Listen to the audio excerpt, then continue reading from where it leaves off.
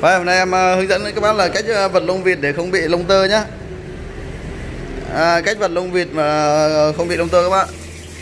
Đây các bác này. À, xâm nước con vịt đi rửa sạch con vịt đi. À, Bây giờ là bỏ nước rửa sạch cái vịt các bác nha Rửa, rửa ướt hết lông đi. Đổ muối vào. Bỏ muối vào các bác nha bỏ nước ngọt vào. Với tan muối đi.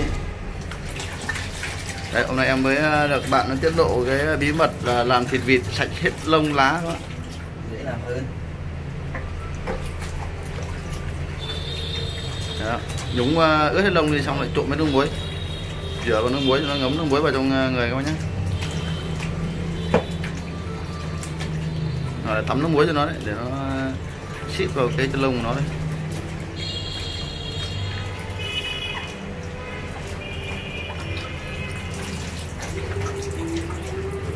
Bắt đầu sản nó nóng à?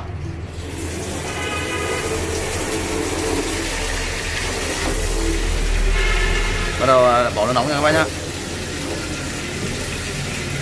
Nước nóng đây là nước nóng bằng năng lượng mặt trời các bác. Nó ờ, sôi gọi là ờ, chín luôn các bác nhá. Trăm độ luôn. Không phải nghĩ. À, trăm độ hay không chắc là gần 90 độ. Khói lắm. À, đủ À, để vậy. được con vịt được. Bắt đầu nhúng vịt vào các bác nhá. Em nghĩ nước nóng bằng năng lượng mặt trời đây chắc là không phải pha thêm nước đâu các bạn vì mình con vịt này mình cũng nhúng ớt rồi với ờ, nước nóng này chắc nó phải được uh, 90 mấy độ rồi người.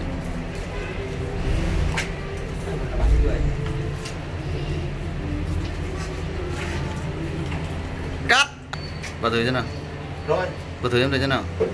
Đấy cái nhúng bác nhá. Cái nhúng nó vào như bình thường thôi. Chủ yếu cái cái muối lúc lúc đầu mình làm thôi. Không vật cánh trong lần nào. Cánh cái này chưa à lại rồi là nó lạnh nữa à?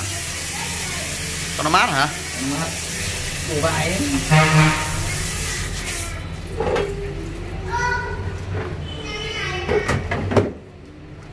đây các bạn, đấy các bạn thấy không? Trắng tinh luôn các bạn. Không phải nghĩ. Đây các bạn này. Đấy thì chúng ta ngâm muối này nhìn này vật con vịt này. Con vịt này bản thân con vịt này là một con vịt tơ luôn các bạn. Lông lông măng đấy bởi vì vật không có một lông măng nào nữa. Rồi trắng này. Trắng phau như ngọc trinh luôn các bạn nhá. Thấy không? Đây đây công thức mà bây giờ em mới được bạn em à, dạy qua đây các bác. Đây em cũng muốn chia sẻ lên à, tất cả các bác luôn. Các bác nào mà đang làm thịt vịt đấy nhớ là cắt tiết. Xong rồi à, rửa vịt con nước. Xong rồi bỏ nước muối vào trong nước. Lại rửa lại con vịt một lần nữa. Vặn nước sôi ra nhúng nhúng con vịt vào luôn các bác nhá. Sạch tinh luôn các bác này không có một cái lông luôn. Ui công nhận. Cái công thức này của ông được đấy không ạ gà. Ờ vật trắng như gà nữa các bạn nhìn tuốt này đấy. Các bạn nhìn này. Không còn bám một cái lông măng nào trên người đâu các bạn. Sạch tinh như luôn. Sạch tinh như ngọc trinh luôn các bạn.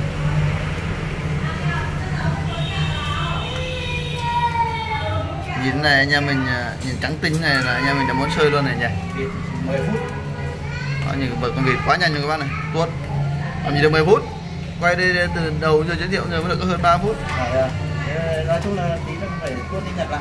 5 phút đi còn lông 5 cái phút phần sơ sơ thì cơ bản là 80 phần trăm. Đây các bạn rất là nhanh nhanh các bác nhá. Không ờ, có lông măng không mặc lông măng các bác ạ. không lâu không mất thời gian đâu. Tuốt vào là xong trắng tinh. Đấy em là cũng ờ, xin phép là chia sẻ cái phần ờ, vật lông vịt và cái phần đánh tiết canh nhưng mà đánh tiết canh không cần ờ, hãm tiết canh các bác. Không cần ờ, mắm muối gì cả hãm bằng mì chính thôi đấy còn đây là phần ờ, vật lông vịt em cũng chia sẻ các bác luôn. Nay em ra nhà bạn em được ờ, bạn em chia sẻ cách ờ, vật lông vịt và đánh tiết canh hãm tiết canh nha các bác. Đấy, lát nữa em ờ, sẽ quay cái phần tiết canh sau cho các bác nhé. Vịt lông vịt đen ở đâu vịt này chắc là ấy, tôi nghĩ là nuôi ấy thôi. Nuôi kiểu là, là, hả? Như vườn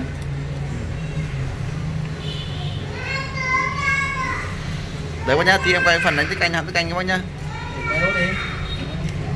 Đó, vì này là thế này trắng tinh rồi, nhìn thế này biết rồi. Đấy, em chia sẻ như thế thôi, chắc các bác nhìn ờ, qua là cũng biết rồi. Hòa muối ấy là có công thức hết rồi. Các bác làm cứ làm theo như như video của em này nhá. Em dám khẳng định các bác là trăm phần trăm luôn. Vật nhanh gọn như gào luôn các bác này. Chưa đầy ờ, 5 phút là xong công việc rồi các bác.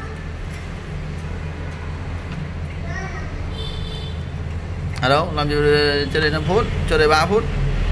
Với cái thời gian mình quay cái lúc mình à, quay cái đoạn hãm nước nữa, đúng không?